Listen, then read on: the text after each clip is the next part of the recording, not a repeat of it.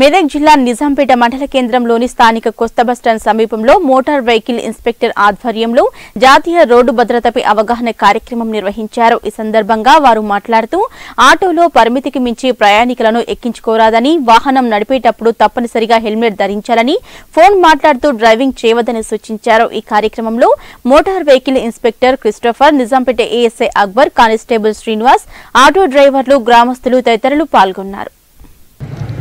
రహదారి భద్రత రక్షణ కోసమని మేము ఇది చేశాము. ఇంకోటి ఏంటంటే ఇక్కడ మన ఆటో డ్రైవర్లు లారీ డ్రైవర్స్ తర్వాత సైకిల్ మోటార్ వాళ్ళు మీరంతా ఏం మీరంతా హెల్మెట్ పెట్టుకోవాలా? డాక్యుమెంట్స్ కరెక్ట్గా పెట్టుకోవాలా మీరంతా తర్వాత మీరు ఒక ఆటో రిక్షాలో నలుగురు కంటే ఎక్కువ మందిని మీరు ఎక్కించుకోవద్దు. మీరు చూస్తున్నారు మన నల్గొండలో కూడా ఒకేసారి పదిహేను మంది చనిపోయారు మన పదిహేను మంది. కాబట్టి మీ కూడా మీ మీ డ్రైవర్ పక్క నుంచి రాదు. తర్వాత మీరు సెల్ ఫోన్ కూర్చొని మాట్లాడుకుంటున్నారు మీరు. అంతమంది మీరు లేబర్ తీసుకొని పోవచ్చు. నలుగురు కంటే ఎక్కువ తీసుకొని పోవచ్చు.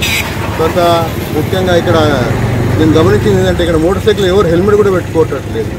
హెల్మెట్ పెట్టుకోవాలి తప్పకుండా. ఎందుకంటే మన ఫ్యామిలీ మన ఫ్యామిలీ మన కోసం వెయిట్ చేస్తూ ఉంటారు.